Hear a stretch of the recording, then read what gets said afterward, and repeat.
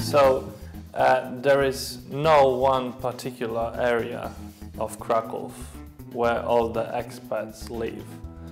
Uh, however, you can find like three suburbs where you can meet them more often than anywhere else. I try to show it on the map.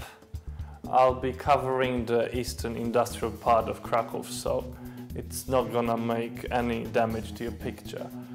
So first of all, uh, the old city and the central area of Krakow.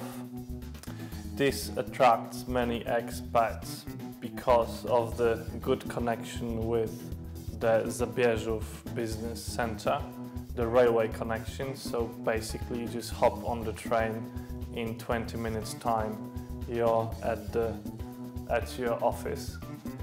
Then another favorite area is the leafy suburb of Wola Justowska. Very nice place, full of nice houses, detached houses with nice gardens and usually double garages, so you know, commonly appreciated by the expats. And also the third area in the south of Krakow with a good link to the A4 motorway taking you all the way to the airport.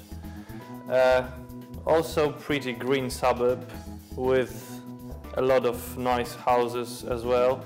And the best thing about Swoszowice and Kliny is the proximity to the international school in Lusina, which is just first place outside of Krakow on the highway to Zakopane. So summarizing it up, city center, Wola Justowska and the southern districts of Kliny and Swoszowice.